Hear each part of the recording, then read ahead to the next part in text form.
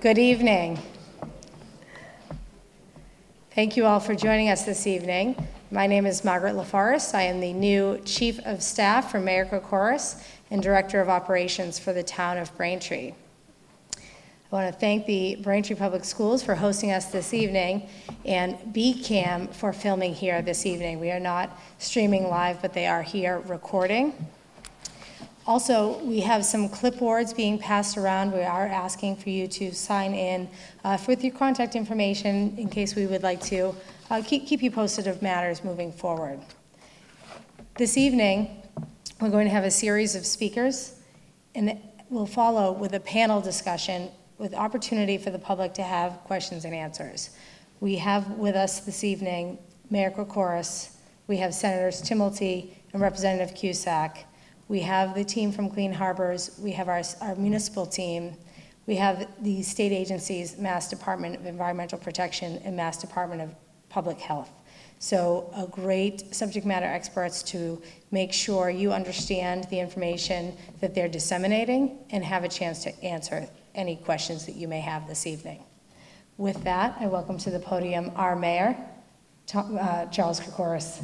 I don't know Thank you, Margaret, um, and welcome everybody tonight. Just want to uh, acknowledge my staff that's here, uh, Margaret LaForest, uh, Kate Naughton, Dan Hickey, uh, as well as those are the people you call if you ever need anything in my office. Um, we have uh, Lieutenant Eng from the police department.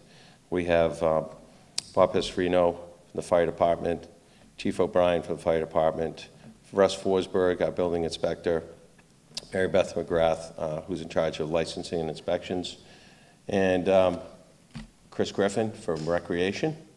And did I miss anybody on my staff? I don't think so. And as well, we have um, Councilor, Council President Berica, Councilor Hume, uh, Councilor Maglio, and Councilor Flaherty. And I don't think I missed anybody else. Did I? Who did I miss? What is it? Oh, Councilor O'Brien. Sir, thank you for coming. Um, we, uh, it's probably been a little bit over 90 days, and it was important for us to come together and, and have uh, a discussion and really go over where we are uh, since the fire that occurred uh, back in February. And there's been a lot of things happening. Um, I know we've had a couple of uh, meetings before the council, and you know, as we've progressed, you know, for for me, it's it's important uh, so that the the demands that we've kind of put on Clean Harbors to make sure that um, we have a safe environment for our residents. Uh, some of those things um, you've probably heard about: uh, air quality monitors, um, fire suppression. Um, as well as um, a number of other items that um, we've, we've been talking uh, to them about, things that we'd like to see happen. And the report um, from Tetra Tech uh, is out, and we know that there's some interesting uh, facts in there, uh, some things that we didn't know about, uh, some things that we did know about. So it was important, uh, really, first of all, to kind of give you an update as to what we've been doing uh, as far as meeting with um, different agencies and, and, trying to come up with solutions uh, based on the postmortem of, of the situation and, and uh, what we need to do to prevent uh, situations like this from happening, uh, to have DPH here, Department of Public Health, to talk about um, the fire, you know, what, what health issues may or may not um, have occurred from the fire and, and to have an update on that. Um, DEP obviously uh, monitors and um, licenses um, Clean Harbors, so it's important for DEP to give an update as to where they're at and, and what um, they're looking at uh, from Clean Harbors, and also to have Clean Harbors here uh, to talk about um, some of the things that, that they're looking to do. Obviously, we, we certainly want to have uh, air quality monitoring. That is something that um, we will not uh, waver from as well. Um, the fire suppression, obviously this uh, occurred where there wasn't any fire suppression, and I think before, you know, uh, future um, engagement in the activities uh, that were done previously in the storage of these trailers that were uh, full of um, product that was leaving and going um, were held there for approximately five days. Uh, It's important that, um, you know, we had requested uh, at minimal fire suppression and separation of the trailers. Um, The other thing we had talked about, another issue was electronic data, uh, knowing what's on site, uh, so that if there was another incident ever, uh, we would have that information. And um, one of the things that was interesting is we were really struggling with how do we either get everyone to sign up um, for alerts or come up with some sort of alert system that would work. And we went to MEMA.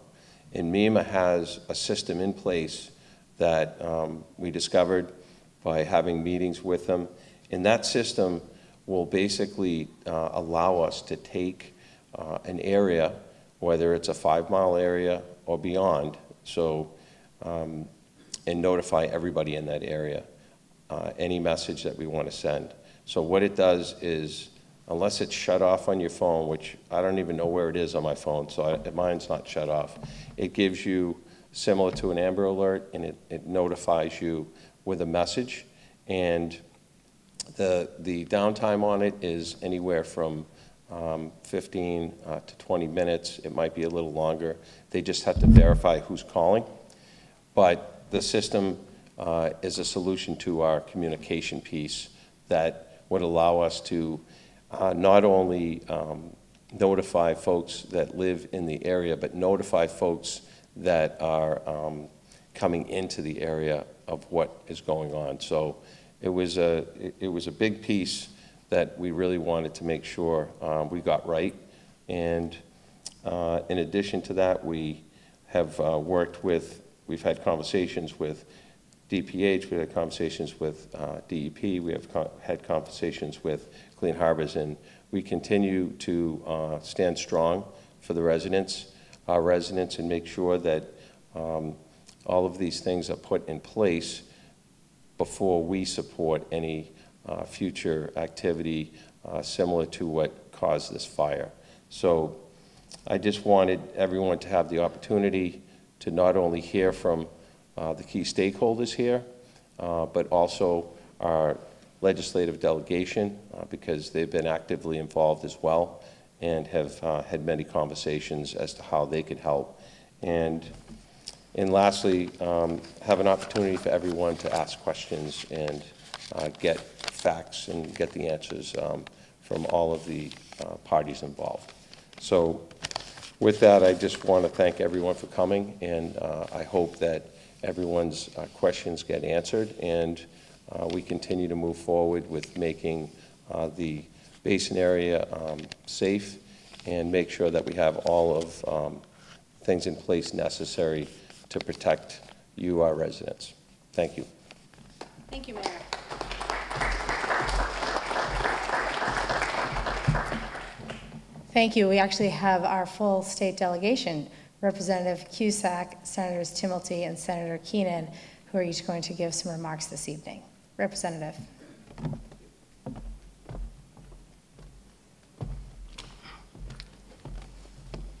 Uh, Good evening. I think the senators want to join.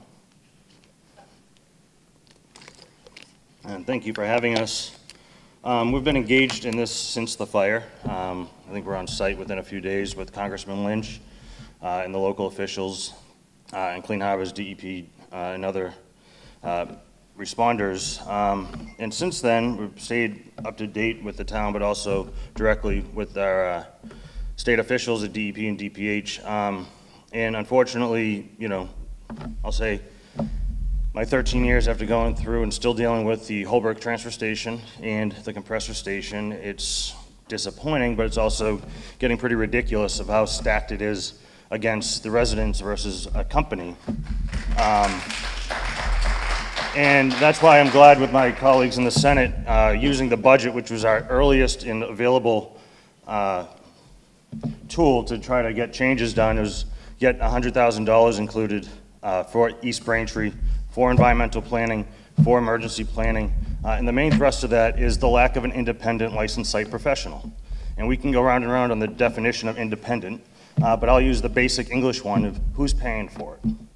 They, Clean Harbors pays for it, that's not independent, it doesn't build any trust and trust, uh, sorry, with the community. Uh, so that hundred thousand dollars is gonna be used hopefully to hire our own licensed site professional. Uh, and also with the emergency planning, as Mayor just mentioned about the, uh, warning systems with MEMA or others, this money is available for that. Working with the public safety officials about how best to use this money, uh, which will be included in the final budget, uh, but also including language.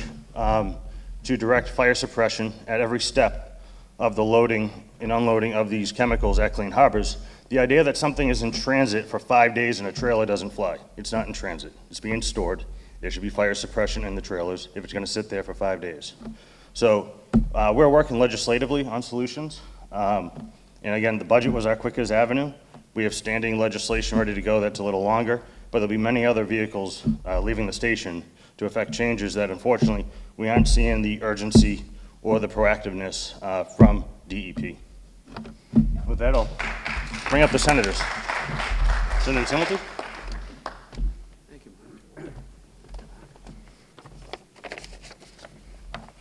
Representative Cusack, uh, thank you very much for your strong work on the budget.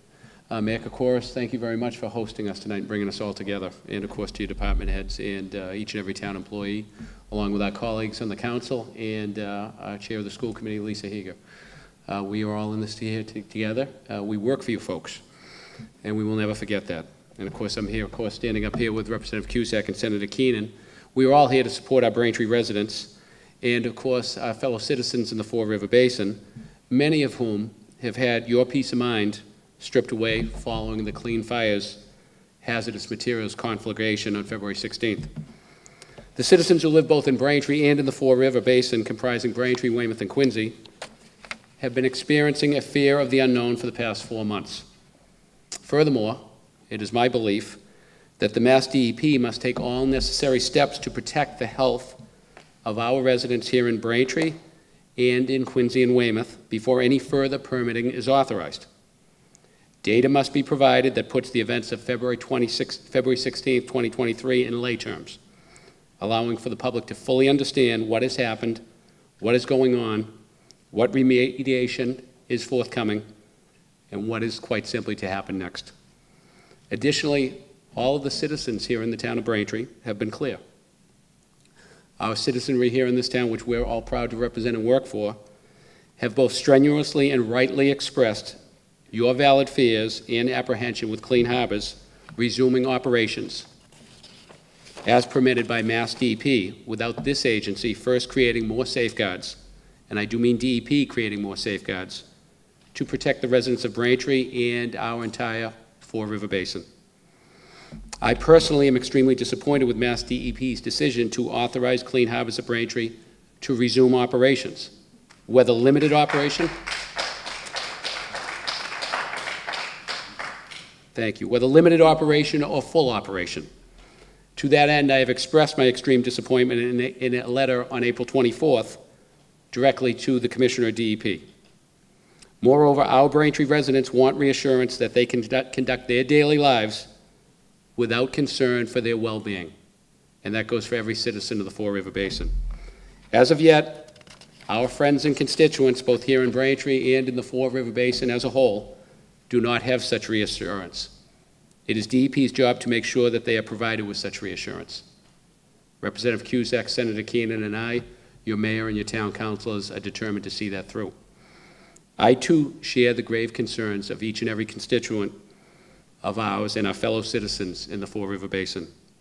I do not support Clean Harbor's resumption of operations until the public health report has been issued and people are fully satisfied and people's minds and mental well-being and peace of mind are laid to rest. Clean Harbors should not receive authorization from Mass DEP unless and until all the questions and concerns of both the residents of Braintree and the Fore River Basin and Braintree officials, who we are proud to work with, have been satisfactorily addressed in full. And with that, I thank each and every one of you for being here tonight. Again, Mayor, thank you. And thank you to my colleagues. Thank you. Good evening, it's great to see everybody. I just wanted to give you, uh, uh, adding on to the comments from Representative Cusack and Senator Timilty, just a quick sense of what we've been doing. We have been reaching out to MEMA, to Department of Public Health, and to DP, uh, DEP to continue to get updates on what it is that they're doing. Um, We met with them in person on April 26th, and at that meeting, they conveyed to us where they were in terms of data gathering, where they were in terms of reporting. And at that point, they had assured us that there were no significant health hazards found. But at the same time, they conveyed that the data they had was not complete. And so what we asked is that they continue gathering that data, that they do that analysis, and until that was done, as the gentleman has said, that they not allow activities at Clean Harbors to resume. In particular, we asked them to wait until the health consult letter was completed before they even contemplated allowing any further resumption of activity uh, down at Clean Harbors. And the health consult letter will reveal the results of their testing to date. It will reveal what their modeling has shown and whether that modeling indicates that additional study is needed or that an additional work is needed. So from our perspective, to allow the resumption of any activity down there without that being done would just be irresponsible. So we followed up our meeting with them with a rather short and direct communication, again, asking that they not allow the resumption of any additional work at Clean Harbors, any activities down there until that health consult letter was completed, that it was released to the mayor, to, to the town officials, that it was released to us and to the public, and that we all had an opportunity to review that, to assess it, and to communicate and work with them in determining whether additional work was needed. Again, to resume any additional activity down there without that process being complete, we believe to be irresponsible. And uh, we are willing to work with everybody to make sure that we have what we need, to make sure that the public is assured that it is safe and that any issue related to the fire has been fully addressed. So that's the work that we will continue to do, and we look forward to working with the mayor and the town officials uh, to make sure that that work is done. And uh, we're hopeful that we will soon re receive that information, uh, that we'll have that opportunity to review it, assess, and then determine next steps.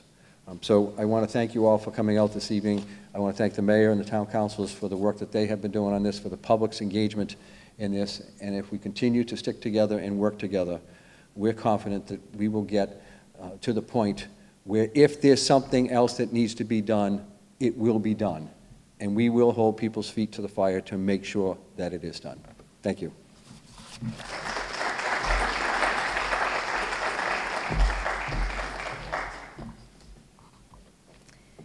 Thank you so much to our state delegation. They've been true partners to Mayor Kokoros and the administration uh, in, in having such work um, channels with the state agencies that we're bringing before you this evening. At this time, I'd like to welcome the President and Executive Vice President of Facilities, Becky Underwood, um, from Clean Harbors.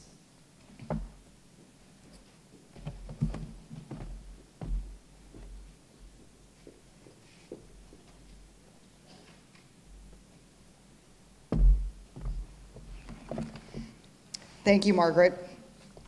Mr. Mayor, town councilors, state representatives, and regulators.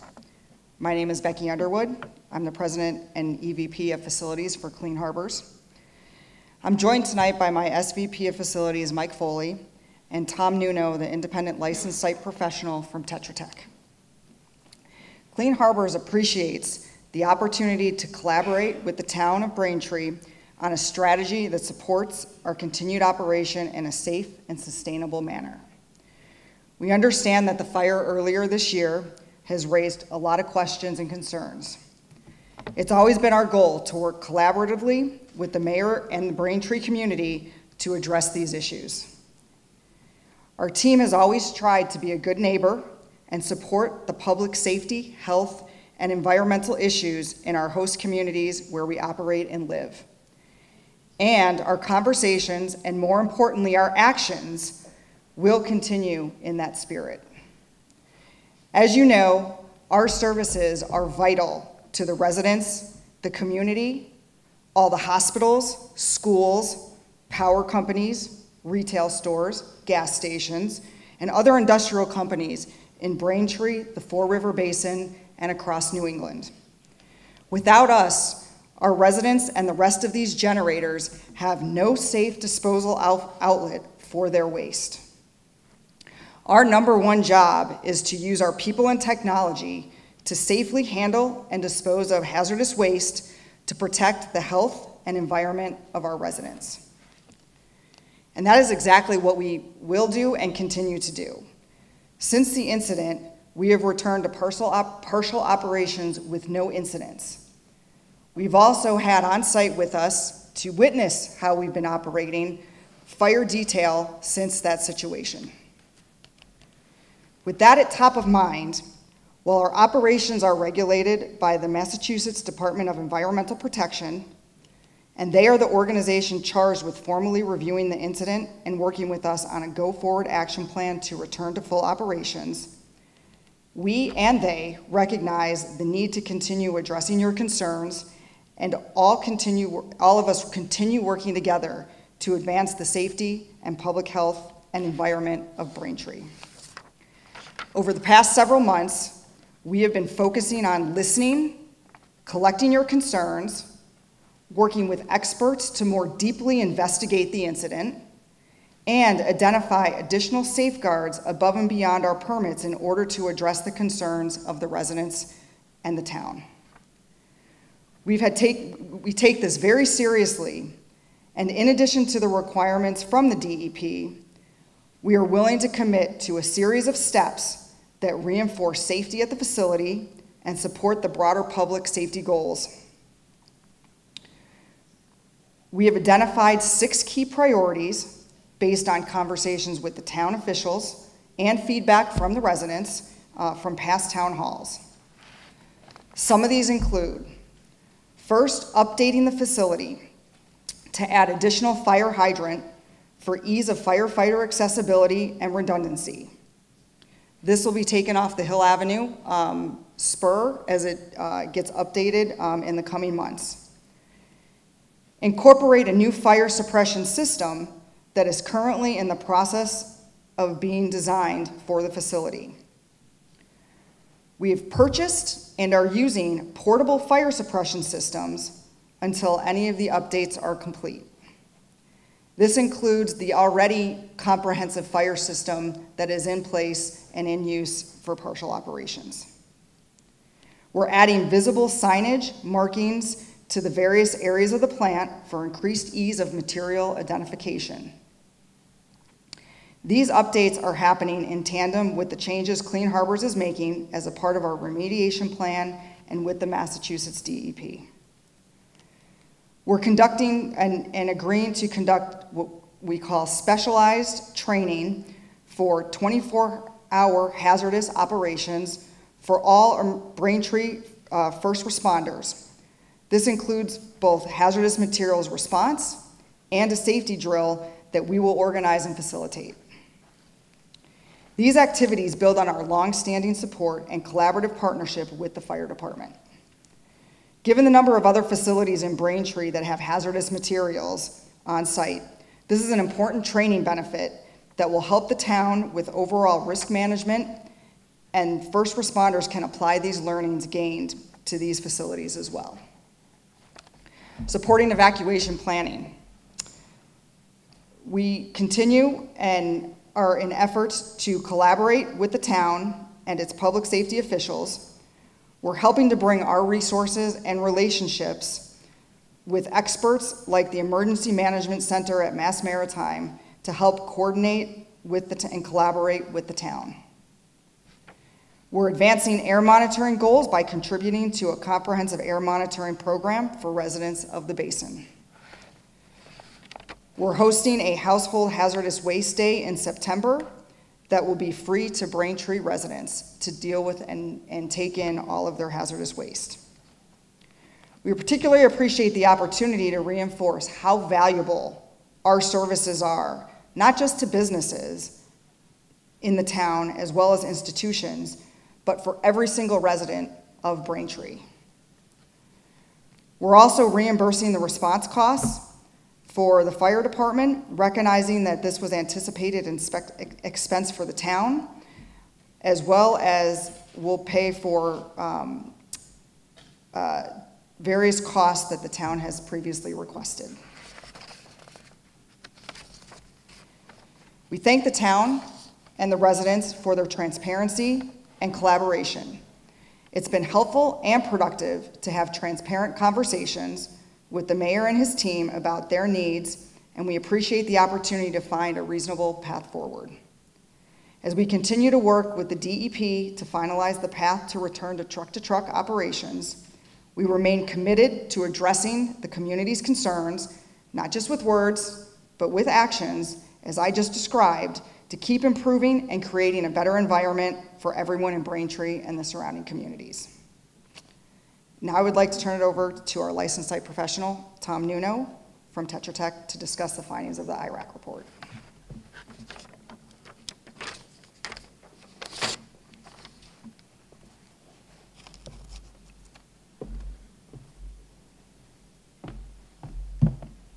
As we, as we bring Tom to the stage, I just want to, um, the Clean Harbors was required to complete through their licensed site professional an immediate response action report. So who aside from the mayor's team has nerded out on the data in the IRAC report? Anybody in the audience?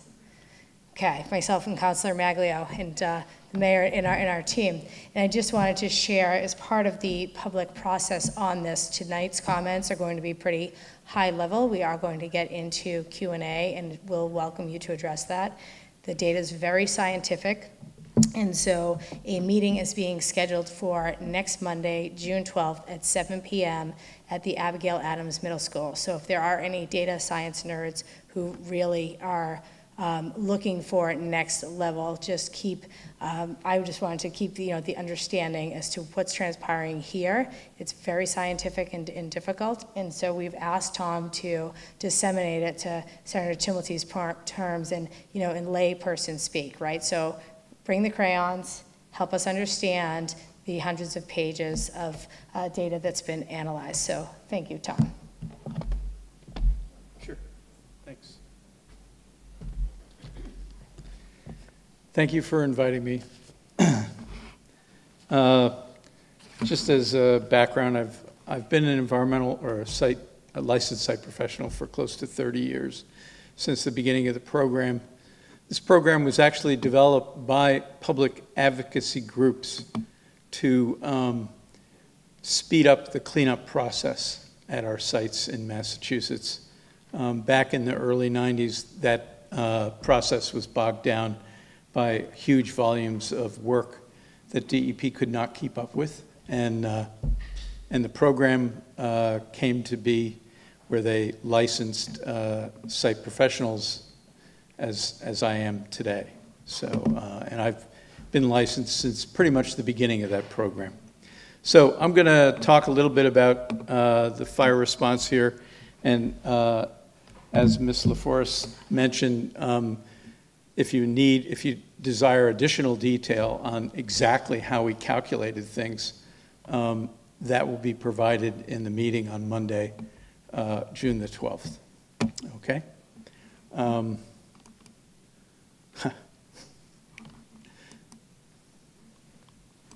I guess I'll have to write. There we go. So uh, what I'm going to be talking about today is the, the, the, event of the fire itself, the response actions that we implemented, and the future uh, activities that will uh, take place. So, uh, wow. Okay, and I apologize. I kind of expected that this screen would be much larger, and I realize that none of you can, not even if you put your glasses on, sir, uh, can probably read this. So I'll just, I'll just essentially read the bullets to you. So shortly before 9 p.m., nine trailers staged at the loading dock on the western portion of the Clean Harbor site were involved in a fire. The fire was extinguished within three hours due to the very uh, efficient efforts of the Braintree Fire Department. The cause of the fire was attributed to auto ignition of improperly characterized waste by uh, the customer in one trailer that spread to two other trailers.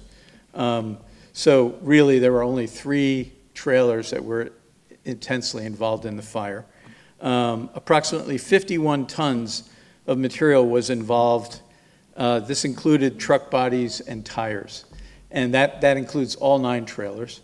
Um, And uh, subtracting the materials that were recovered, and, and indeed, although many of the drums and things inside some of the trucks were not touched, the trucks themselves uh, melted, the tires burned, things like that. So subtracting the, the drums of materials that were recovered whole, um, the overall estimated quantity was about 18,786 pounds.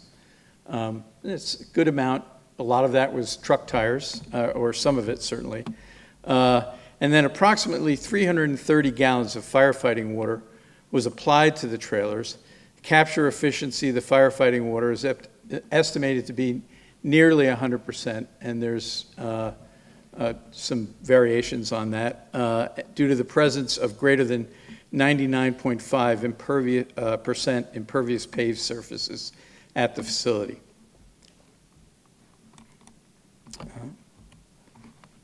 Sorry.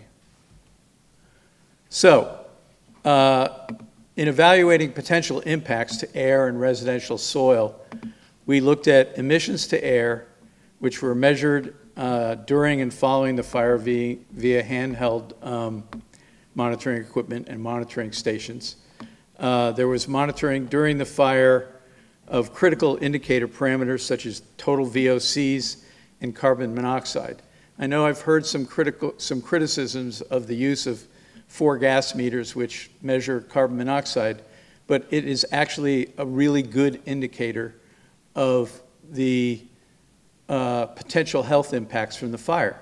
Because if there's not much carbon monoxide, that indicates that the fire is burning very hot and, and the, uh, the combustion efficiency is very high. Therefore, um, the products of incomplete combustion are, are very low. Uh, Then, uh, a week after the fire, uh, uh, so anyway, in addition, uh, so these monitoring activities were carried out by Clean Harbors around the perimeter of the site, Mass DEP, and the Braintree Fire Department at, at the plant perimeter and in the neighborhoods.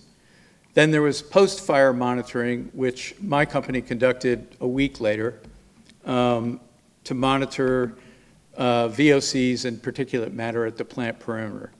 And then finally, uh, air and deposition modeling, as you know, was conducted by GHD uh, to uh, assess particulate matter emissions that would have taken place potentially during the fire, uh, and also determine potential depositions to properties around uh, the the proximity of the fire. So response actions that were implemented to mitigate discharges to pavement and soil include, obviously, the firefighting water was pumped to 15, was captured and pumped to 15 uh, to 22,000 gallon frac tanks. Uh, This, this capture efficiency on firefighting water is extraordinary.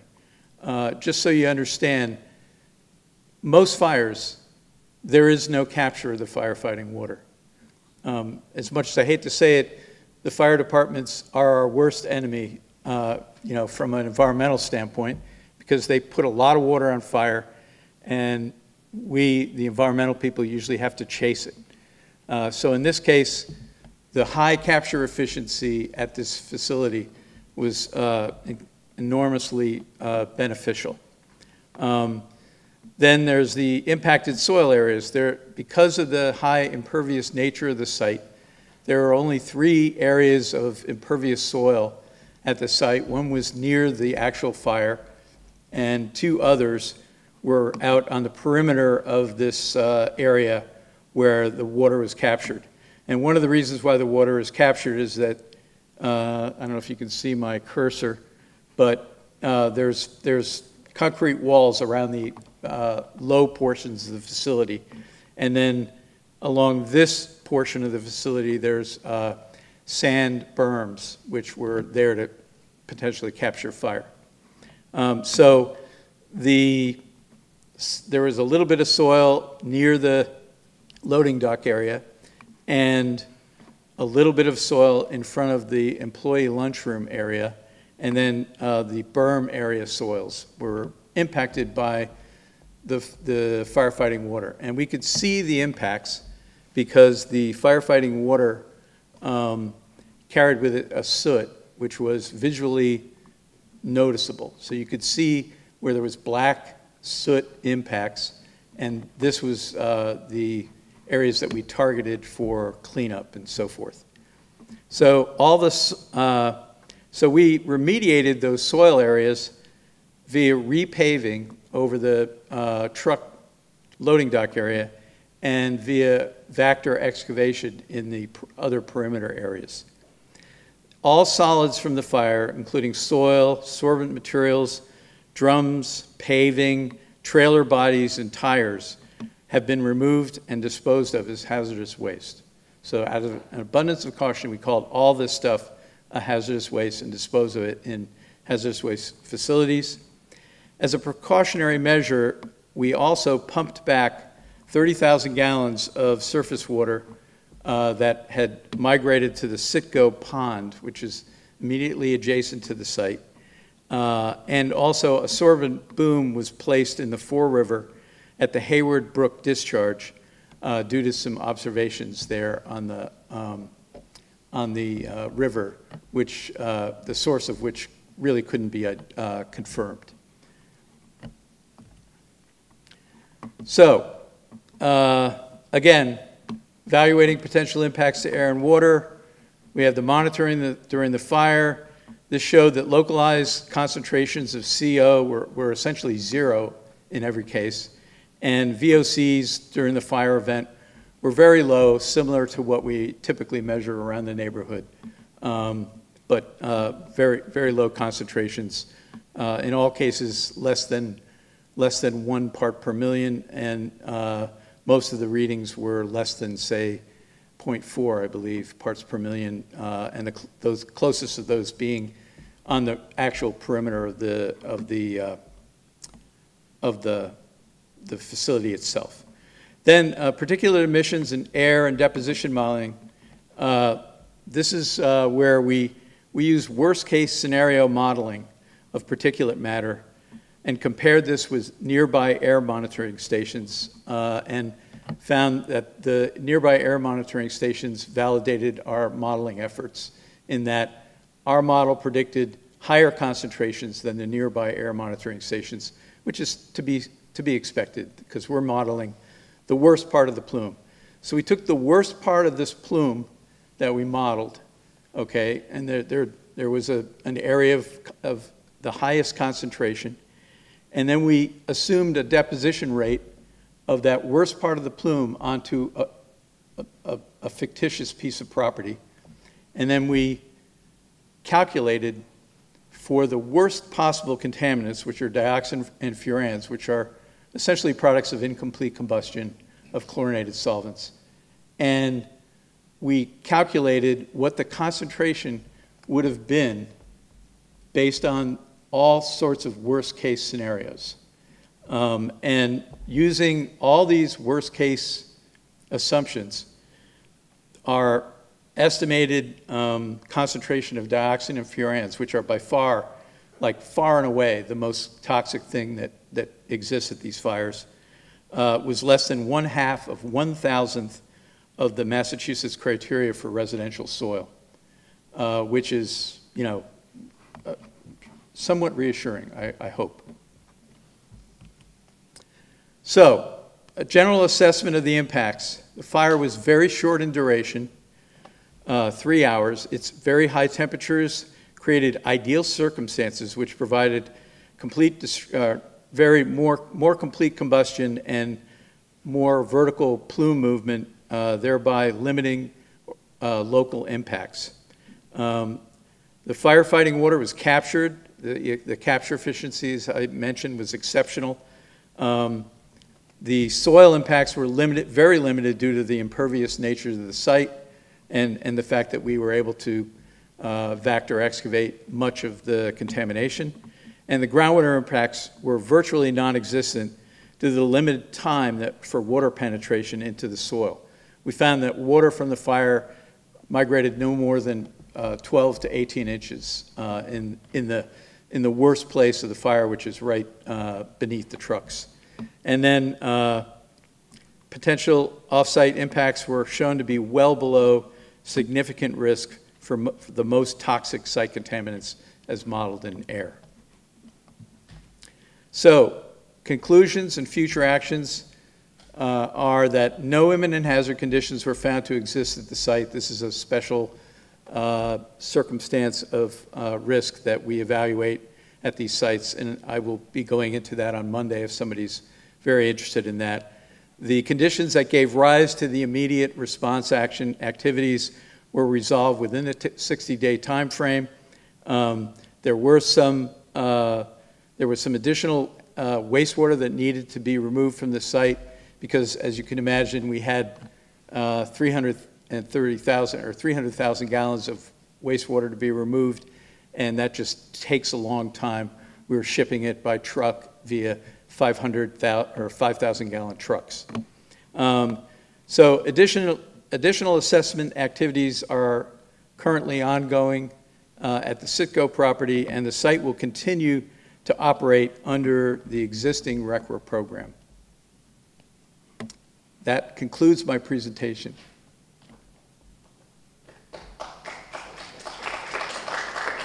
Thank you.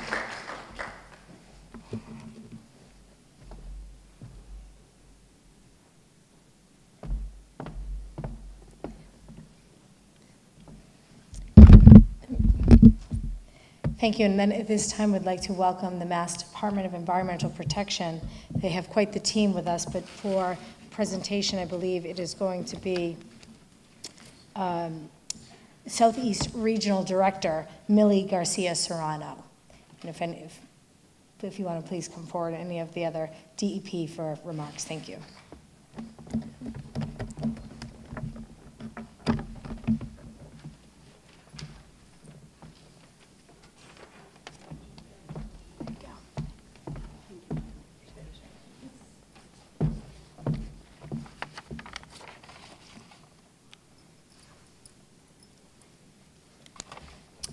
Good evening, um, Honorable Mayor Kokoros, uh, Town Councilors Maglio, Hugh O'Brien Flaherty, Senator Keegan, excuse me, Senator Keenan, Senator Timilty, and Representative Cusack. It's really an honor for me to be here standing in front of you tonight representing the Massachusetts Department of Environmental Protection. I serve as the Regional Director in the Southeast region. We're located in Lakeville. And we really appreciate being able to sit, to be here tonight, to talk a little bit more about our findings and observations, as well as um, basically just provide you with an overview of the work that we've been doing since MassDEP was engaged on this very important matter the night of the fire. First, just by way of context, I'm wondering, is anyone here who has not attended prior meetings, just so I can get, get a sense for uh, new audiences?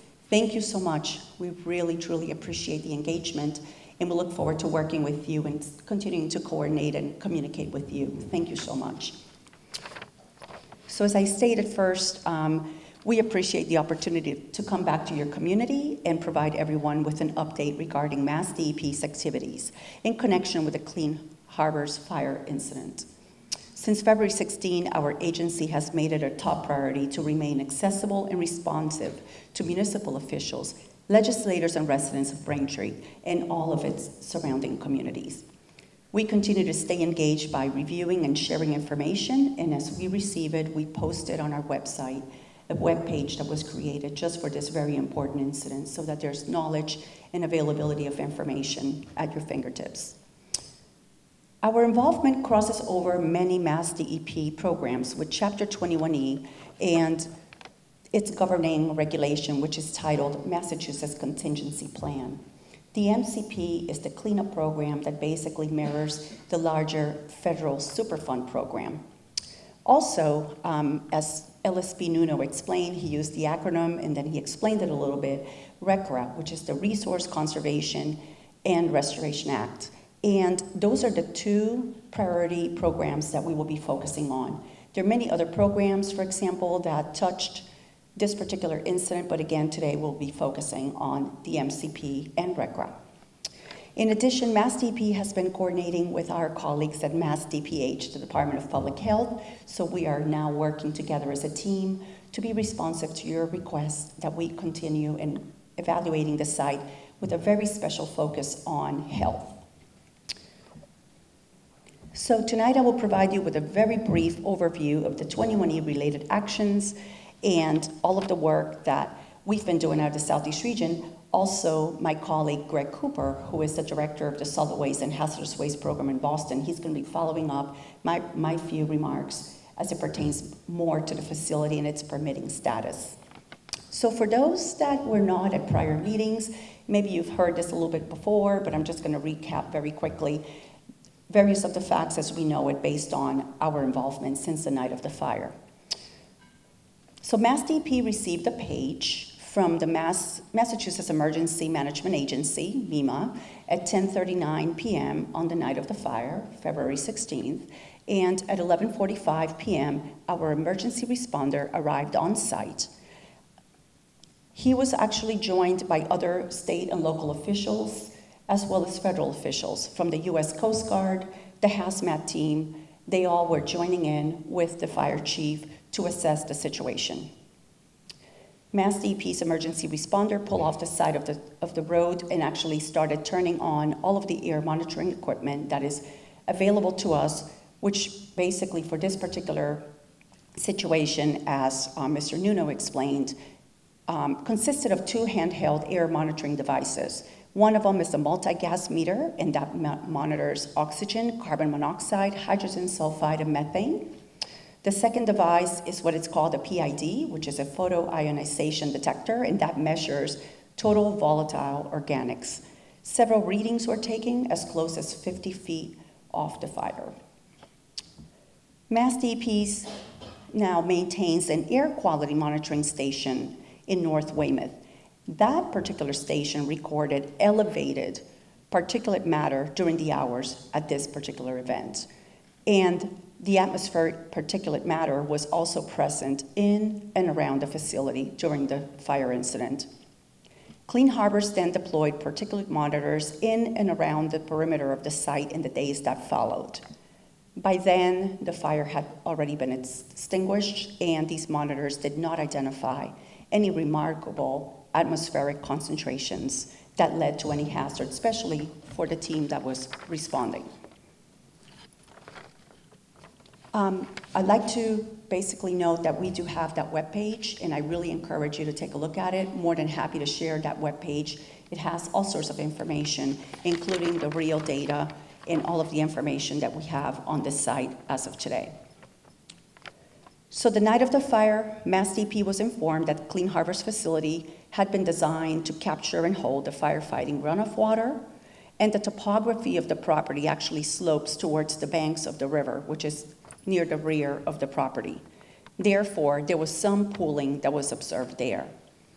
Tonight, and as we reviewed that report and tonight was affirmed, there was some additional significant water that was actually captured. So at this time, we understand there's a second licensed professional who's working for CITGO, and they're currently collaborating to ensure that any potential water is clean, assessed and cleaned up during this particular process that we will be describing very shortly. So on the night of the fire, what Mass DEP needs to do oftentimes, whether it's federal responders, state responders, is basically to facilitate the actual immediate response actions that need to take place immediately. There were several immediate response actions, we call them IRA activities, that were um, approved that night of the fire, including the product recovery, containment of the firefighting water, containment of the contaminated debris, excavation of any potential impacted soil, in addition to also cleaning the surfaces that had come in contact with the contaminated media and commence the assessment of any kind of work that needs to be had in order to start populating a report that will further develop the conceptual site model as to how contaminated is it, and how clean needs to be cleaned. So Mass DEP's responder gave the licensed professional that evening, the fire, gave him 60 days to put together a report. That report, titled IRA Completion Report, was due on April 17, 2023. That document was uploaded into our electronic eDEP portal on that day. In addition to evaluating the Clean Harbor releases, the document also spoke about a release that also took place at the Citgo facility the night, pardon me, the day before the fire, and Citgo is the abutting location next to the Clean Harbor. So that actual release took place, and that was defined and identified in the report. So because property owners that have a sudden release of oil hazardous materials on their property are required by Mass DEP under our law to basically retain the services of a licensed site professional. A person who's licensed in the Commonwealth, they take a test, they give opinions subject to pains and perjury. Each of these facilities do have their very own licensed site professionals. As requested by town officials, Mass DEP went ahead and reviewed and audited this report, so we want to thank you, uh, acknowledge that that was an incoming request to us, and we honored that request. And therefore, two different Mass DEP auditors reviewed the report in accordance with the performance standards of our regulations and determined that the report was submitted on time, in addition to also meeting all of the performance standards. And we would be more than happy to walk anyone through what our auditing program is and what kinds of things we look for to ensure that the document is not deficient. And if it were deficient, Mass DEP would move forward with providing a notice of deficiency audit finding and potential deficiency if there is any deficiency to be had. I also wanted to note, as the licensed professional stated, that way before this fire, and since the 1980s, the Clean Harbors property has been undergoing a special federal uh, cleanup program, basically participating in a corrective action program. And that program is actually designed for facilities like Clean Harbors. So just to sum it up, um, this process actually is compatible with our state regulations. Therefore, we coordinate and we make sure that we are not setting either program to fail. Very importantly, in April 2023, citizens from North Weymouth and Braintree filed a 10-person petition requesting that the Clean Harbor site become a public involvement participation site. In addition, also, we later received another petition for the Citgo facility to also become a public involvement plan site. So Mass DEP happily will participate in these meetings. Um, I think the important piece with that um, petition, and we want to say thank you to the petitioners, is that this process will afford a little bit more focus as it pertains to assessment and cleanup.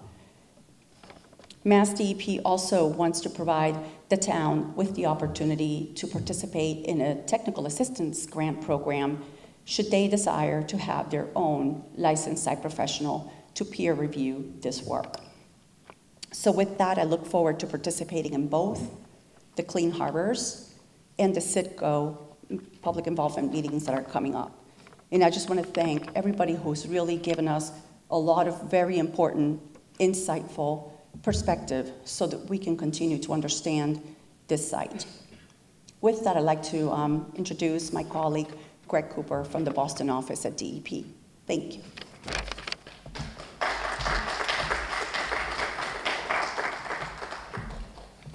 Thank you, Millie, and uh, thanks for all that information. Um, Hi, I'm Greg Cooper. Um, I'm the Director of Hazardous and Solid Waste out of Boston. And my office is responsible for licensing uh, these facilities and monitoring and keeping the hazardous waste regulations in Massachusetts up to date with federal requirements. Um, I thought it would just be helpful quickly. I know tonight's big focus is really kind of on the cleanup, what happened, you know, what, what's the conditions there, what, have we, what has been found. But I thought I wanted to just quickly address uh, some of the stuff relative to the operations of the facility itself. Um, I think Clean Harbors kind of explained, you know, the work that they do. They collect uh, hazardous materials from businesses throughout Massachusetts uh, and manage those properly and dispose of them properly, uh, send them off for disposal, for uh, proper disposal. Um, And it's kind of a critical component, obviously, in the management of hazardous waste, having a uh, service that's convenient, accessible, uh, and does not result in uh, influencing you know, those types of companies to do something different with those hazardous wastes, uh, which is obviously more, very detrimental to the environment when there's illegal dumping activities or something of that nature. So in accordance with, you know, just, we'll start with the uh, February 17th. Um, Subsequent to the fire, uh, in accordance with Clean Harbors contingency plan and also Mass DEP hazardous waste regulations, Clean Harbors ceased operations subsequently to the incident that took place in the fire. So at that point in time, they stopped full operations at the, at the facility. Um, on February 26th, uh, Mass DEP authorized Clean Harbors to initiate uh, restricted operations for the management and removal of the impacted materials. So all of the materials that Tom had spoken about that were generated needed to be collected and needed to have activities going on there to collect those materials. Um, I will say that uh, each of these steps that I'm, these dates and times of approvals, the, the approvals are on our website uh, at the, uh, you know, the Mass DEP uh, Clean Harbors website, so you can read those letters and see what they entail. Um, and each, at each of those uh, increments, we had inspectors on site uh, initially to ensure that there was, uh, you know, that the facility was in compliance at the time that the activity was being authorized. On March 9th, um, Mass, Mass authorized Clean Harbors to reactivate their stormwater treatment and discharge operation. And that was in order to, uh, at that point in time, all of the firefighting water had been collected, um, and what had accumulated at the, but the stormwater system, which was off since February, the night of February 6th, 7th, 16th, when the fire started, uh, until March 9th, had accumulated rain and snow melt, um, which needed to be moved uh, and, and treated and allowed to be. So that was the initiation of the startup of the stormwater treatment and discharge operation was to uh, remove that material from the site. Um, uh, Once again, our, our inspectors were on site to make sure that that stormwater system had been recharged uh, and reassessed and was in proper working order before uh, commencing operations. Um, On March 15th, uh, Mass DEP, um, uh, after confirming the, in- you know, compliance status of Clean Harbors with its license and its solid waste regulations, uh, Mass DEP solid waste regulations, we authorized Clean Harbors to resume uh, partial operations uh, of the facility. Uh, And the operations that we were uh, allowing for uh, to reinstate were the bulk loading and the drum management activities. Um, The, the, we did not provide any authorization relative to the truck-to-truck. And, and if you're familiar with the operation, they're basically separate building activities. Um, And so the impacted areas of the, of the truck-to-truck uh, were not uh, impacting the activities at the bulk loading and drum storage area, drum management activities that were occurring. Um, that is a, you know, that was a, a- you know, we, we had to recognize that there's a lot of operations that are relying on these types of facilities, including our own emergency response. We've got a truck rollover on a, on a highway, and we have to have uh, an expert such as Clean Harbors come and, and remove all that material and then manage it properly. Uh, So we had to kind of, and, you know, acknowledge that that, that operation, since it was not related to the truck-to-truck op- uh, facilities, which is where the fire took place, uh, it was prudent to allow that activity to, to start up. Uh, At this point in time, the truck-to-truck operations are, are not, are- they are not, that truck-to-truck operation is not moving forward. Um, We are working with uh, Clean Harbors, and we're working with the city and the fire department um, to discuss, you know, how does recommencement take place, what time it takes place, what are some of the conditions that are placed in, in that. Um, At this point in time, Clean Harbors is in full compliance with our operating license and our hazardous waste regulations. So at this point, we're talking about additional measures that will, you know, address many of the concerns that the town and the residents and the fire department has uh, regarding fire protection and air monitoring elements. Um, We hope that we will be able to, you know, reach, uh, you know, a consensus on what those elements are uh, in order to allow the recommencement of the truck-to-truck operations there at the facility. Um, And it's really only a kind of, it will be a restricted, at this point in time, it would be a restricted recommencement of those activities. And that's because, uh, which would include a number of elements which would reduce the throughput and improve the safety measures, increased fire suppression, um, increased air monitoring, uh, increased safety measures. Um, And that's done, being done on a limited, uh, you know, a restricted basis, would be done on a restricted basis on this point, while Clean Harbors designs a more comprehensive uh, system that takes time for them, as you said, as they stated, they're, they're designing that type of activity as we speak, but it takes time to design, you know, permit, acquire, install, and have readily operable. So um, we're looking forward to and having and participating in the discussions about those elements also. Um, And we are hoping that we can come to a, you know, uh, conclusion where we can have a satisfactory resumption of activities there. And that's about all I have to say right now. Thank you.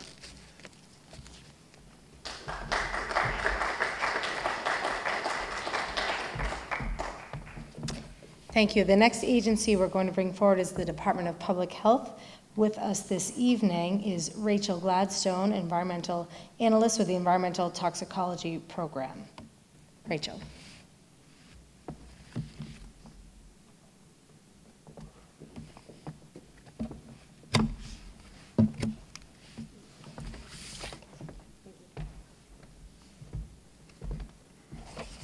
All right. Uh, good evening, everyone.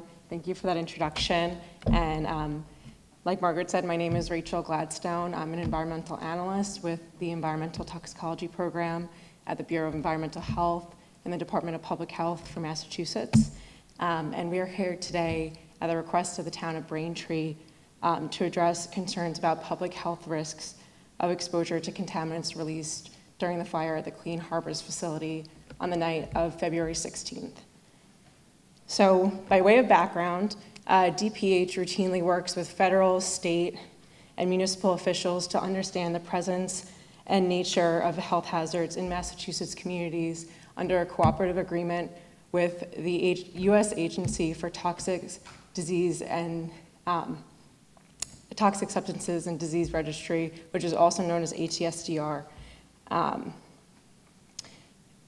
and since February, um, we've been in court coordination with Mass DEP, the Braintree Town Council, the Mayor's Office, and the Health Department to support the town and residents in understanding health concerns related to the fire.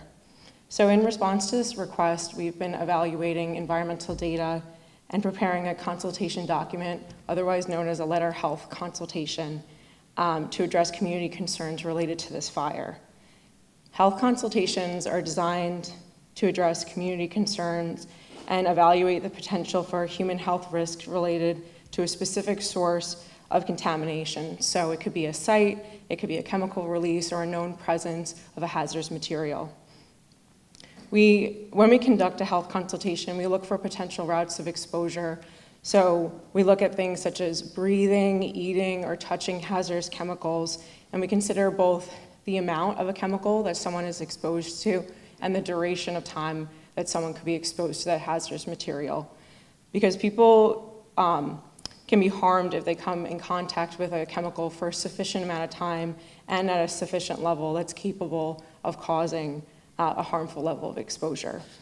So, to assess the potential for harm, we compare potential exposure to health based screening values established by regulatory agencies. Screening values are set at conservative, health-based um, protection levels to protect all members of the public. So this includes people like children, older adults, or people with underlying health issues. Our assessment will examine the level of chemicals that have been released during the fire um, at the Clean Harbors facility and the potential for residents to experience both short-term and long-term health effects. Because of this, our work is going to primarily focus on breathing as the um, primary route of exposure uh, to chemicals released during the fire. And we also refer this to as an inhalation exposure. In addition to data that's described in the report by the licensed site professional, we're reviewing data from the Massachusetts Air Monitoring Station that's located in Weymouth and eight purple air sensors in the Fore River Basin, which is in the vicinity of the Clean Harbors facility. We'll use this information to analyze the level of particles that's in the air, as well as chemicals like nitrogen dioxide, ozone, and volatile organic compounds uh, that were measured during the fire and in the days after the fire was extinguished. So to, to assess the potential for health risks, we're comparing these measured concentrations to screening values established by federal agencies like ATSDR and the EPA, as well as those used by the World Health Organization and state regulatory agencies like MassDEP. Using these values, we're able to estimate the likelihood for individuals to experience harmful health effects from exposure to fire-related contamination. And our goal is to issue this, uh, this letter health consultation to the town of Braintree by the end of this month. The letter health consultation will be available to the public um, and it will be posted on the Massachusetts Department of Public Health website. So while this is underway, we also encourage anyone who has questions about their personal exposure um, or any questions that they have related to the fire to feel free to contact the Environmental Toxicology Program. Um, if you have your pens ready, it's 617-624-5757. Um, and we treat any calls that we have in a confidential manner, so no personally identifying information will be shared um, or included in our report. Um, so that's all I have. Thank you, everybody.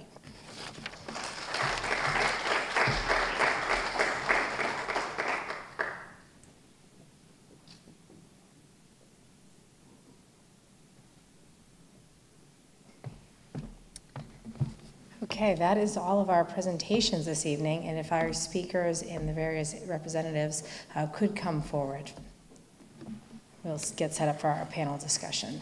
What we're going to do for audience questions is have you come down the aisle, either, either aisle that you're at, um, to be able to ask those questions.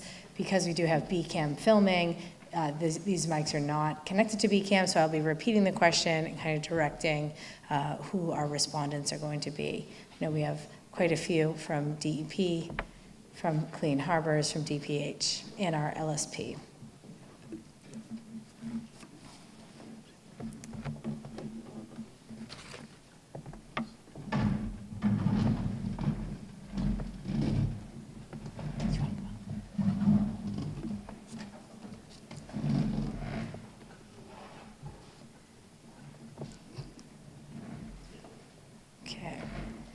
Just a matter of housekeeping for the panel. The middle microphone is the BCAM microphone.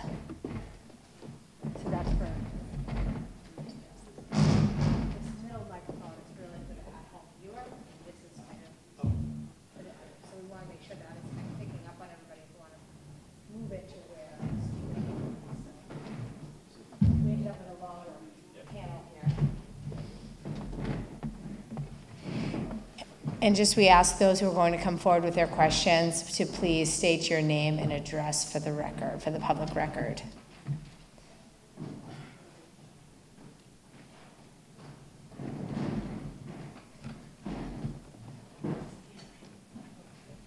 Okay, thank you. We'll start with your question, sir. Yeah, I'm Dave Ricca, and my address is 49 Sterling Street, Braintree.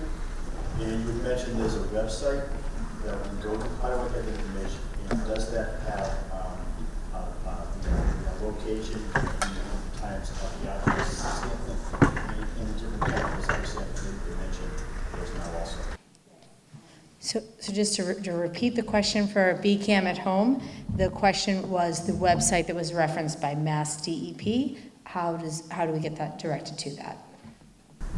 Good evening, thank you for the question. So I'm going to actually have Mr. John Handrahan, um, who is the Deputy Regional Director for the cleanup program at DEP, We'll happily give you that website. Um, I can give you a screenshot tonight, that way you can navigate it. Mhm. And it will have all sorts of information that basically Mass DEP has received um, with regards to the incident.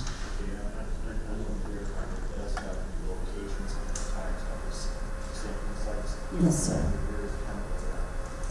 I, I A lot. A lot of chemicals because um, different methodologies for sampling actually have a whole suite of chemicals in addition to also tentatively identified compounds. So I think the most efficient way is for us to give you that information and you can give us your phone number and we can have a chat over the phone or some kind of um, video teleconferencing. We can walk you through all that information. Is that on the website or just on the record? Yes, sir. Right on the website. And John Handrahan is going to um, give you that information right the easiest way for you to find the website, because the website has kind of a long name, just Google Mass DEP and Clean Harbors. It'll be the first link that comes up on your Google search. And our website has reports that were previously spoken of to tonight, like the IRA completion report that was presented by Tetra Tech. That report will have the information that I believe you're looking for in it. And If you have any questions when you look at that, you can reach out to us and we'll help find it. Sure. It's uh, a mass.gov website, and I can tell you it's easily searchable, because I was trying to get that link for you, if you want to come forward with your question. It also has all of the air monitoring data. Suzanne Torres, um, 109 Broad Street, and I'm from Wa- um, Weymouth. And I was told that we could come here because Braintree, Weymouth, and Quincy are all connected at that point. Um, And uh, the demonstration that you gave was very understandable and clear, which was nice. And your ideas were good. If they're implemented, I would say great. Um, I would say, if they're not, can we have you back here in three months or something, you know? And, and um, also, um, people were mentioning that if there's a way to get out to the public, if there's a, another fire, God forbid, but if there is, that they can put it on um, their phones on, on a, on a um, give, give them an alert not to walk or not to um, go out and walk and, and to put their, uh, shut their windows, um, because nobody even knew that it was happening. A lot of people didn't even know. So that's, that's my, those are my points. Th- Thank you for your comment. So the comment was uh, about communications, and I know Mayor Kokoros in his remarks commented about MEMA and the geofencing. Mayor, did you want to, the geofencing is able to capture the cell phone data. Mayor, did you want to elaborate on that?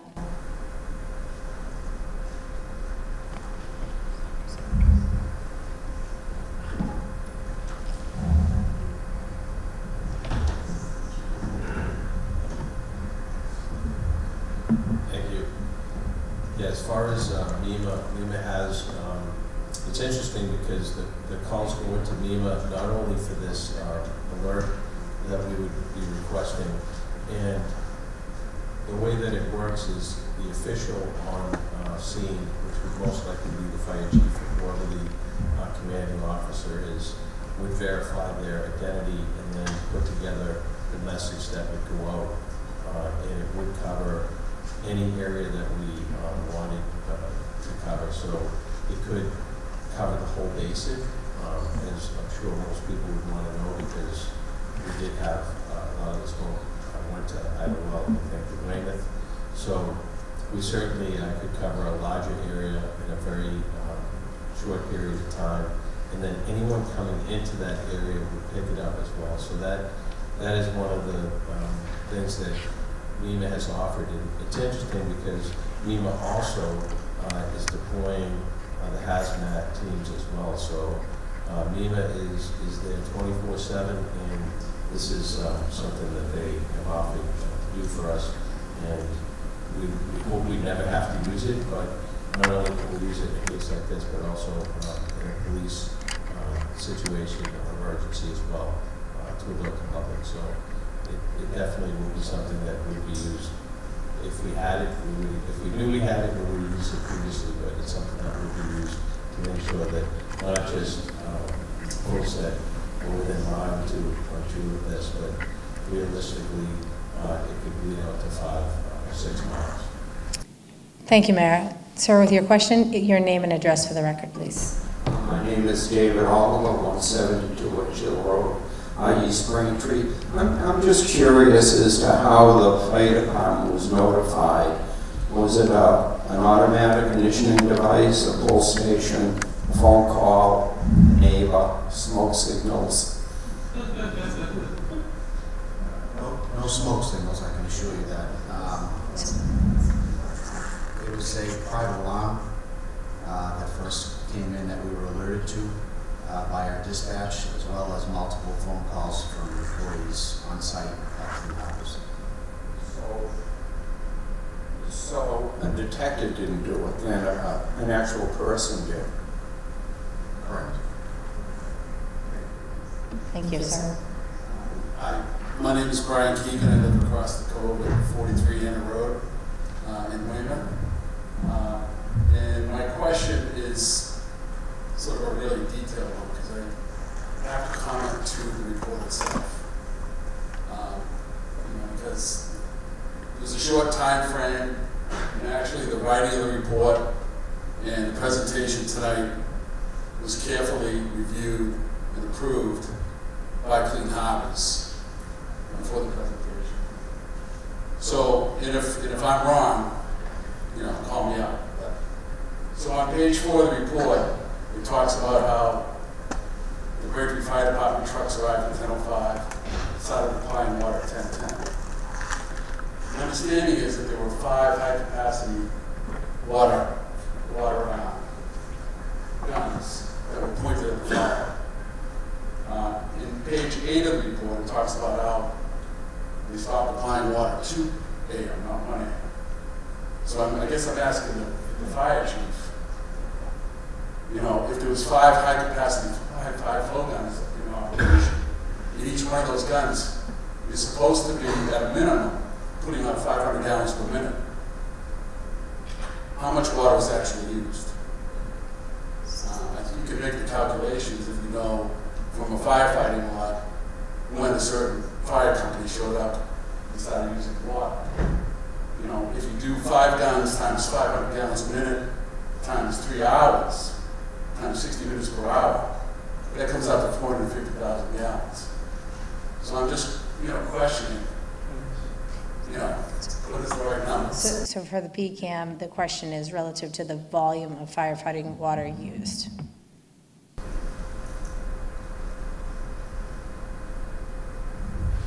I asked the fire chief, not an LSP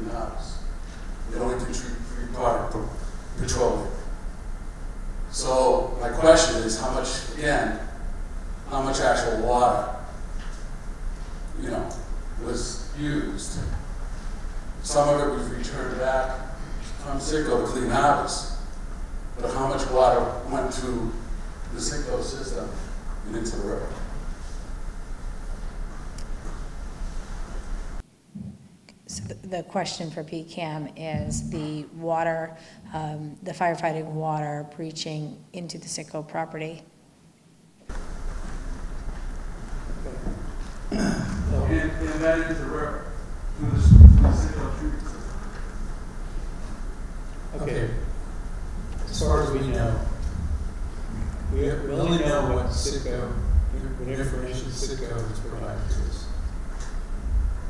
So, I can't verify that information. Um, But according to Citgo, their system pumped an additional seventy-five hundred gallons into the, you know, through their, through their treatment system. Our, our estimate, my, my belief, and, you know, no one was, as you know, no one was measuring, no one was sitting there at two o'clock in the morning measuring flow from Clean Harbors to the Citgo property. But it, it's my belief that the thirty thousand gallons that we pumped back represented probably more than we lost to the Citgo property. And that was evidenced by the drop in concentrations over three days after the fire, and measured again on the twentieth. It was, uh, ninety percent of the concentrations were gone. Do you have a question? Yeah, hi, uh, my name is Mike Lang, I'm the environmental coordinator for the East Braintree Civic Association. And, uh, this is like deja vu to me. Um, I've been doing this for 40, 45 years now. And when we did this, it was Clean Harbors had a hazardous waste incinerator proposal. And we had, we had no, no support from the town.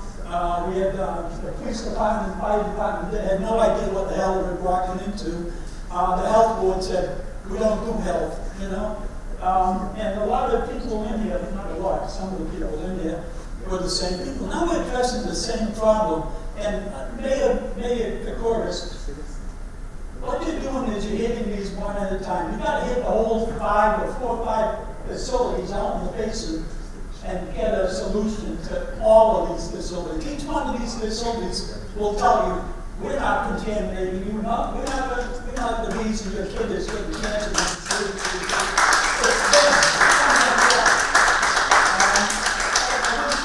Now, if my facts aren't exactly straight, it's because I'm working on three different projects right now and that the town should be working on.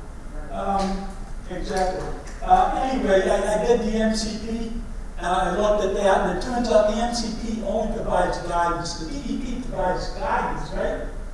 Is that a fact? And then, Go ahead, sir. and the health department, you said you provide consultation. There's absolutely nobody that actually addresses the issues and does something about it. Um, Pinchot, we were dealing with a gas compressor. Pinchot doesn't, Told us they only write regulations and still make suggestions. FERC said that they don't touch on safety. Um, Chuck, um, it's time you address all of these issues. Right now, you're kicking the can down the road with these people. And as far as uh, all these other things, um, the air monitoring station, you said the air monitoring station wasn't bad. We had talked to DEP when we were placing the air monitoring station. You don't place them behind the power facility, in between the power facility and the ten-foot wall. That's what it is. And oh, by the way, there's, there's a, um, front- there's a air currents from the ocean that adversely affect it, so you don't get good readings from it. We actually do our, um, do our, um, research. You people aren't doing your job. all you're doing is you, you talk about providing consultation and Clean Harbors, um, uh, we'll talk to them, by the way. And oh, oh, by the way, I have to tell you, like, I screwed up too, and along with my friend uh, Dave Oliver. We had talked to one of Clean Harbors people when they were talking about building a building up there. And they told us, we're not gonna expand, we're just gonna build this building to separate administration from the lab. Sounded good to us, and we don't want to be the bad guys, so we said, yeah, great. It turns out they're moving all the trucks to the, um, to the shipyard right now. And, and I, I saw the documentation from Clean Harbors, it, they said we're no longer gonna be doing something about trucks on the side. They aren't, they're gonna do it next door. And by the way, you say, well, it's only temporary. Um, if it were temporary, they'd have the trailer there. Well, they poured concrete for this, uh, gatehouse there. That's, that's permanent. And I think the next thing you're gonna see, Chuck, is you're gonna see these people coming to town and expanding their, um, facility. Um, I, I also went to the, um, Securities and Exchange, and the first quarter, the first quarter, uh, report said that they, they got a forty-three percent increase in the, uh, Braintree facility. Which means they're expanding, Chuck. And you think they're not gonna use those trucks over there? As a matter of fact, I wouldn't be surprised if they bought that facility. But um, I do apologize, I've got so many facts, and, and the idea is that I can't give them all to you.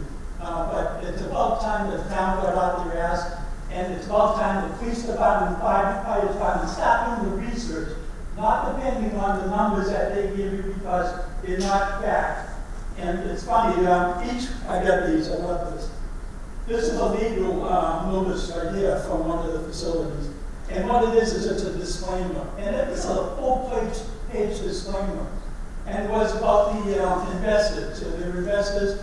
And so we went through all this stuff about how much you should invest in that song.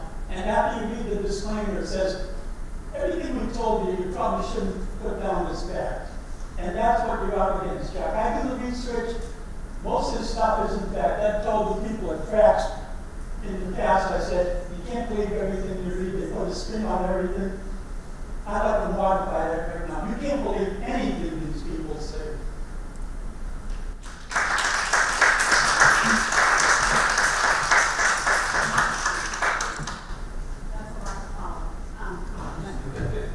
Is this okay? Yes, please. I'm Phoebe Morad at 22 Waldron Road. I have two, I think, pretty simple questions. One, where does the wastewater go? Where is the way? Where did that go? So the question uh, for BCAM is where does the wastewater go?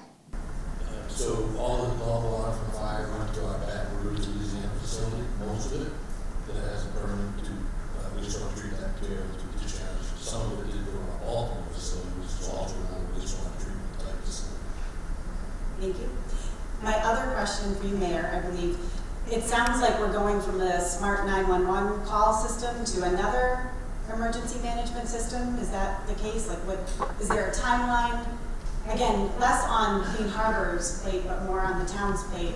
What, as far as a timeline for, I only think this can be opened again when we know we'll actually be called when there's an emergency.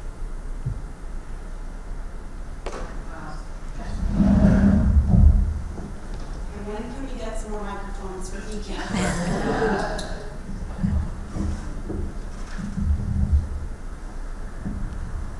Sorry about the microphone uh, issue. We had another event at town hall, so.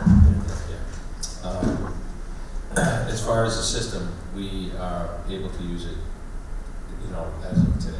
I we, when we had a conversation with them, uh, they gave us the procedures, the process, so uh, whether it's our fire or police department, they'll be able to use it. So, I guess what I'm confused about is, it sounds like the public needs to know how it's going to be used, not just, so how, It's- what, it's- what's the public education information timeline? have? So I think our meeting was last week, was last week, Tuesday. So as far as the system itself, it doesn't require you to do anything. It requires whoever's on scene make that call, and um, it goes to every cell phone that's in the area.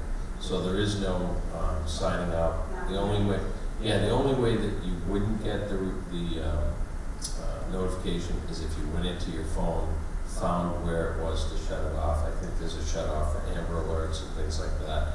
So if you haven't shut off, it's not gonna work, but, um, Or if you shut your phone off at night. um, I'm not sure. I'm not sure. I, I would assume, but, Any idea for other languages? um, that's something we can find out, for sure. Thank you. And Counselor. Hello, Um, Elizabeth Maglio, uh, Town Councilor for East Braintree, District 3. Um, I'd like to uh, address one thing from the previous comment. Um, The water that went to Louisiana and Baltimore um, is separate from the water that went right into the Fore River Basin. So as long as we're clear about that, when we say release, or when they say release, they're talking about water with chemicals that that flowed over to Citgo and back over to Clean Harbors and also into the actual basin. And in fact, the contamination from that water was so bad that Clean Harbors actually had to repave the ground. Now, I didn't see anybody in my neighborhood taking soil samples. I didn't see anybody in my neighborhood taking water samples, and I live right there. And a lot of my neighbors who live right there are here tonight, and they haven't seen you either. And, you know, the, the, the, what, there's so many things that are sticking with me from tonight. First of all, that there's really not a lot of information. This is an update that's not really very updated. Um, is there any data that has been collected that did not come solely from the companies paid by the companies who caused the contamination? Is there any neutral third party that's not paid by Clean Harbors or Citgo or overseen by DEP, who is the agency who has authorized all of this?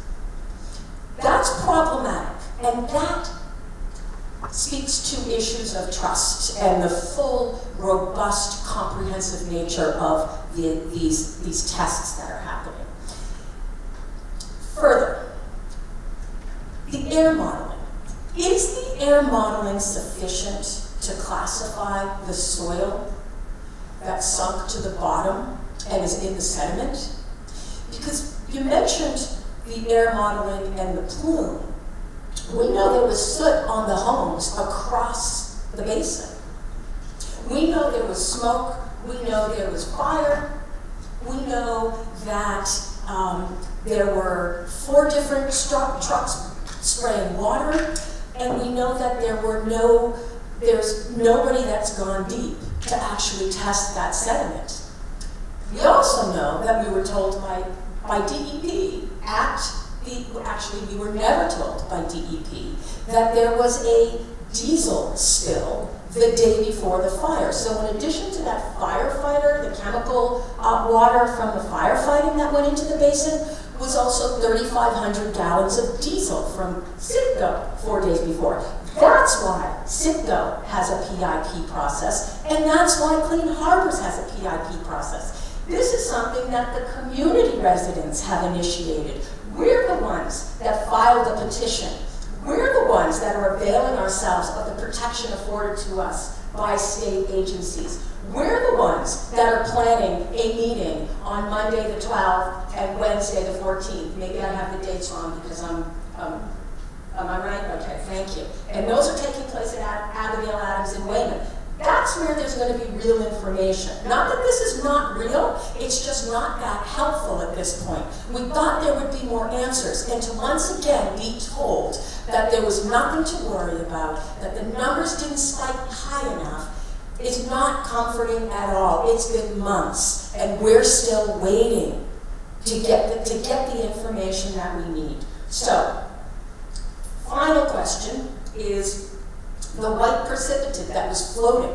It was noticed by Clean Harbors, it was noticed by Citgo, and it was noted by DEP, because it's in the DEP report. There was a white substance floating for three days. Y'all looked at it, y'all noted it, nobody did anything about that either. So where, where do we stand with all of you?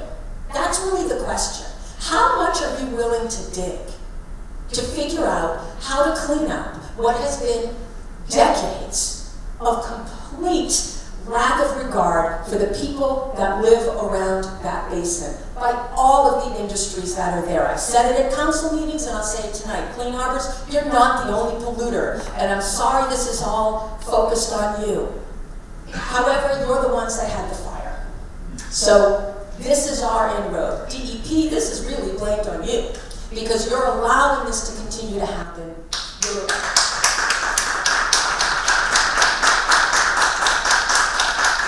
And there's little we can do. There's little we can do except ask for the truth and then do our own research. So I'd like to hear sediment, what precipitate, the water that flowed into the basin, the diesel that flowed into the basin. Four questions.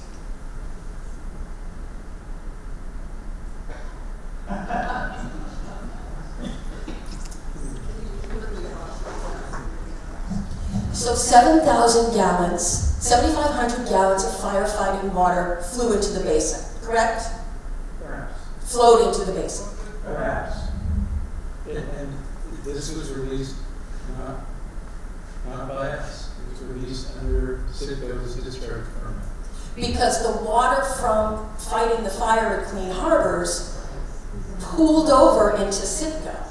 And Citgo's mechanisms, their stormwater system, their oil water separator, works for oil and water. It doesn't work for chemicals. So they released it in.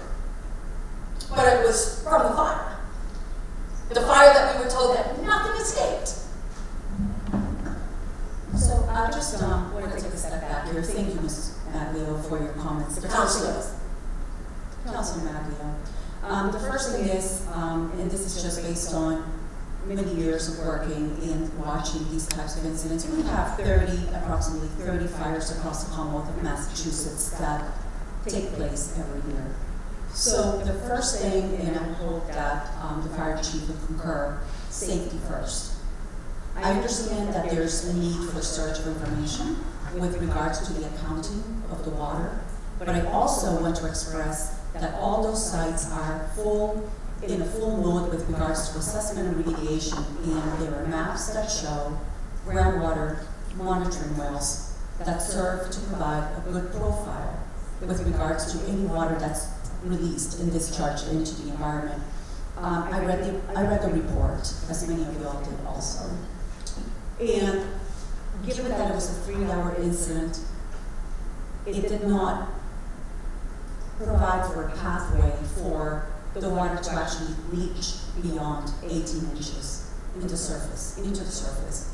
Notwithstanding that, Citgo does have an oil water separator, and Clean Harbors has a stormwater discharge um, permit that basically guides and serves to permit the presence of a stormwater system.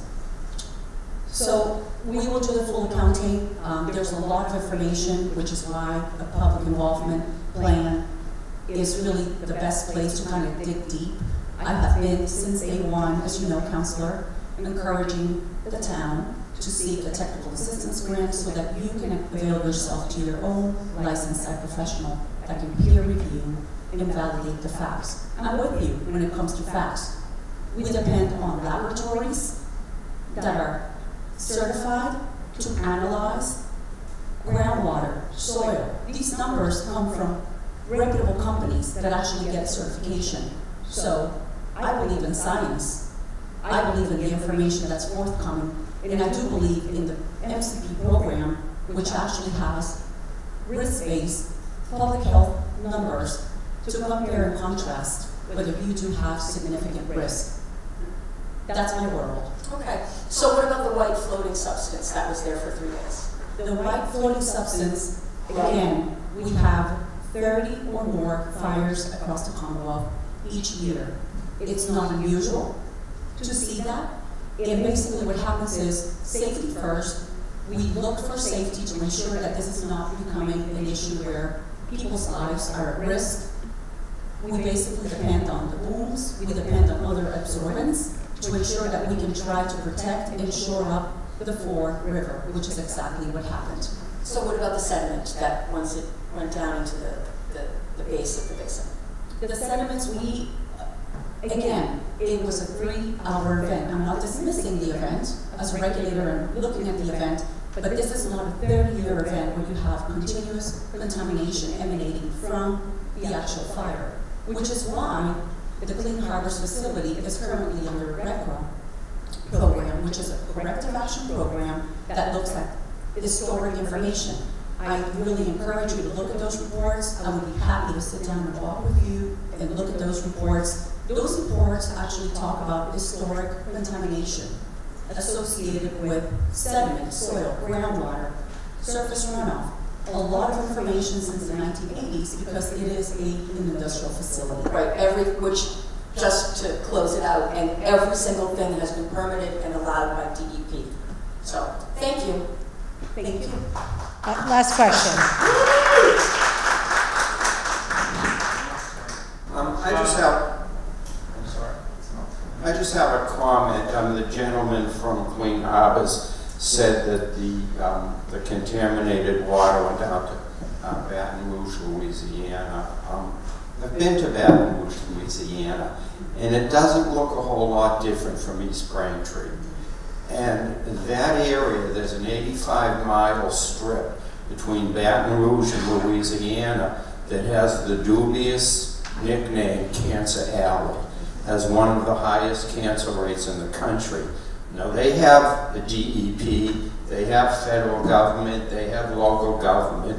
So like Michael Land and Council Maglio says, don't depend on, sorry, these people, but it's really up to us to do something about this and to force you people to do your jobs. Thank you.